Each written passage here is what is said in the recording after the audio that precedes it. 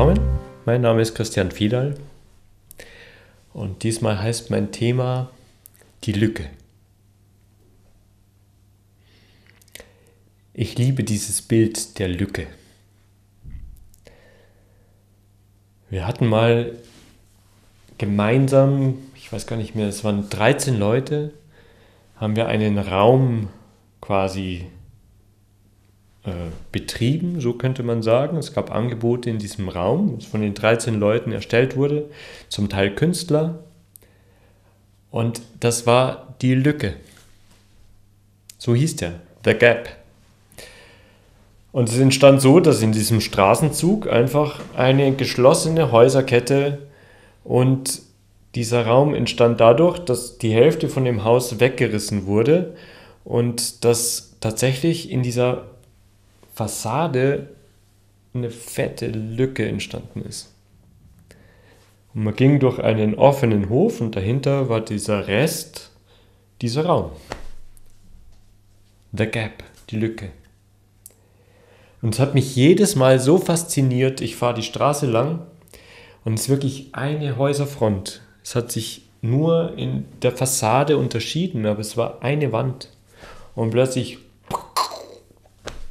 eine Lücke gerissen. Und jedes Mal, wenn ich da hingefahren bin, war ich auf, aufs Neue berührt und wirklich zutiefst irritiert von der Lücke. Und später habe ich dann verstanden, warum. Weil diese Fassade, das ist wie so ein das kennt bestimmt auch jeder, wenn man in der Stadt ist und durch solche Fassadenwände fährt, dann fängt das an, irgendwie wie so ein Strom zu werden, wie so ein Kanal.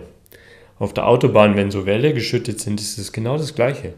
Es ist wie so ein Kanal. Und man fängt an, so dahin zu rauschen.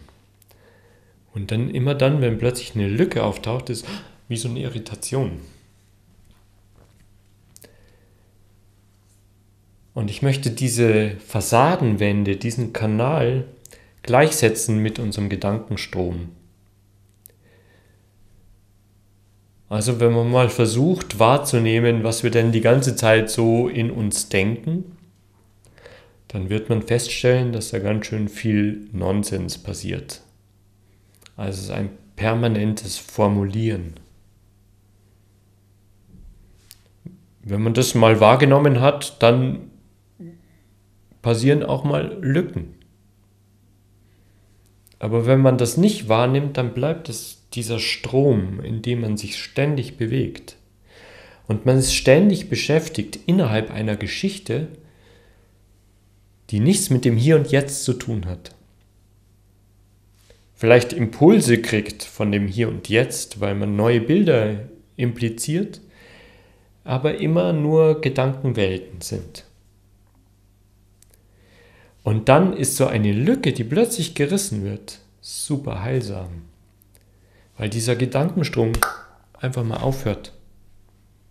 Auch wenn es nur ein Bruchteil einer Sekunde ist, ist es aber spürbar. Es ist die Lücke in dem permanenten Geschichtenfilm, in dem wir uns bewegen. Natürlich niemals jeder, einfach nur es geht darum, die Aufmerksamkeit drauf zu lenken. Einfach mal zu schauen, wie ist es denn im Moment? Wo bin ich denn gerade? In der Geschichte? In dem Gedankenstrom? Oder erlaube ich, dass da eine Lücke ist?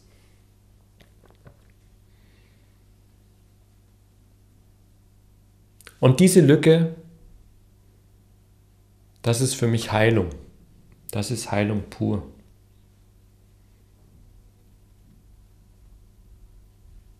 In dieser Lücke passiert nichts.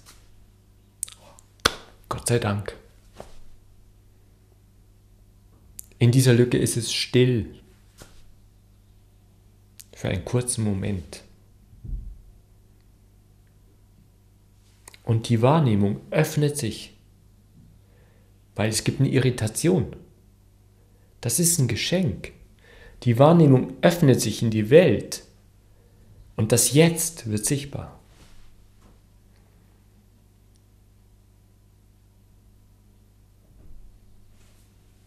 Diese Lücke, diese Lücken, die können passieren. Aber die Lücken kann man auch bewusst herbeiführen. Das heißt, immer dann, wenn ich mich wahrnehmen kann in einem Gedankenstrom, dann kann ich einfach entscheiden, kurz mal innezuhalten. Und bitte versuch niemand diesen Gedankenstrom anzuhalten. Das wäre wie ein Haus wegsprengen in dieser Straßenflucht, von der ich gesprochen habe. Sondern innerhalb dieser Straßenflucht einfach mal wahrzunehmen, wo bin ich denn gerade? Was tue ich gerade? Was fühle ich gerade? Das ist jetzt. Das ist die Lücke. Wenn tatsächlich da kein Haus drin steht, dann wird diese Lücke gerissen. Dann ist es dieses plötzliche Auftauchen. Wenn ich mich entscheiden will dafür, dann ist es einfach nur ein kurzes Innehalten, ein kurzes Wahrnehmen. Wie fühlt sich denn gerade mein Sitzen an? Atme ich? Wahrscheinlich, weil ich lebe noch. Und wie atme ich? Ist nicht gut oder schlecht. Es kann tief sein, es kann flach sein, ist egal. Es geht darum, das wahrzunehmen. Spüre ich irgendwas in meinem Körper? Tun meine Hände irgendwas? Bin ich am Abspülen? Habe ich einen Teller in der Hand? Oder fahre ich einen Film? in dem ich gar nicht mitkriege, dass ich gerade Teller wasche.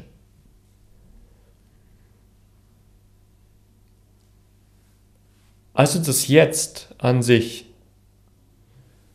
ist die Möglichkeit, immer wieder Lücken zu erzeugen, immer wieder wahrzunehmen, was ist da gerade. Was oft passiert ist, dass wenn, wenn ich mit Menschen arbeite und die kommen zu mir und erfahren dieses Jetzt, dass es ihnen furchtbar langweilig ist. Das ist interessant. Weil in diesem Gedankenstrom, ich bleibe nochmal bei diesem Straßenzug, lauter Fassaden, ständig wechseln die Farben und da ist mal eine Werbung und so, es ist immer schon spannend. Und man kann es würzen. Man kann abbiegen in den anderen Straßenzug und dann sieht es völlig anders aus und dann wieder abbiegen. Und irgendwann weiß man überhaupt nicht mehr, wo man ist, aber es ist ständig aufregend, es ist ständig spannend. Ich beziehe das auf Gedankenwelten. Also wenn wir in so einem Film sind, dann kann ich in jedem Moment abbiegen. Ich kann sofort in eine andere Geschichte einsteigen. Also wenn ich mich erst über Nachbarn aufgeregt habe, kann ich sofort an meine Liebste denken. Und ständig passiert was Neues. Wenn dann eine Lücke gerissen wird, kann sein, dass es langweilig ist. Ist einfach nur still. Kein Ton. Keine Lichter.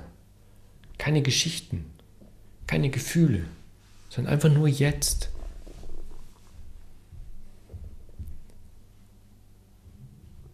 Und wenn man diese Langeweile, das würde ich die Wüste nennen, das ist das Abwesendsein von Inhalt. Wenn man das als Qualität erkennt, wenn man immer wieder in die Lücke zurückgekehrt ist, dann wird man feststellen, dass das eine Quelle ist. Weil aus diesem Nicht-Etwas entspringt alles andere. Aus diesem Nicht-Etwas fallen mir Ideen ein. Es fällt mir hinein in die Lücke. Und dann wird das plötzlich etwas, was ich nutzen kann in meinem Alltag. Ganz einfaches Beispiel. 5 vor 10, ich habe einen Termin und ich finde meinen Hausschlüssel nicht. Ich ras durch die Wohnung wie ein Wahnsinniger, weil die Zeit drängt und mein Schlüssel ist weg. Verdammt, und ich muss los. Wenn ich in diesem Film bleibe, in, in dieser Stresssituation von ich müsste schon längst und ich habe aber nicht, werde ich den Schlüssel möglicherweise nicht finden.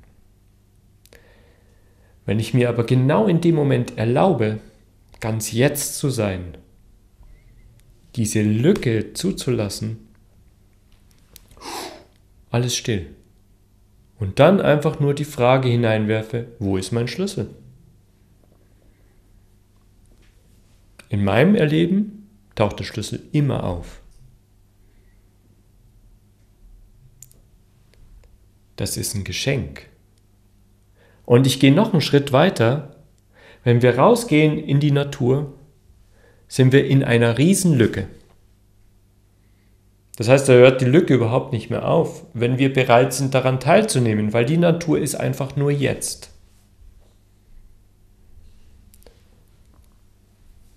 Und da kann man das spüren, was das ist, was das für eine Lebendigkeit ist, was für ein Vibrieren im Jetzt. Das ist hundertprozentig lebendig, das ist alles andere als langweilig. Das ist nur deswegen langweilig, weil die vielen bunten Bilder plötzlich verschwinden. Aber dieser Raum, diese Stille ist heilsam. An anderer Stelle habe ich schon vom Waldbaden erzählt. Es wird bekannt, dass das heilsam ist. Es ist die Lücke, es ist die Stille, in der Heilung passiert. Aber Heilung ist ein anderes Thema und das bespreche ich an einer anderen Stelle. Ich kann nur einladen, immer wieder ganz bewusst Lücken zu erzeugen, kurze Momente von Innehalten, von Wahrnehmen. Was ist jetzt? Das ist eine Reise. Das ist ein Weg. Gute Reise. Christian Fiedel.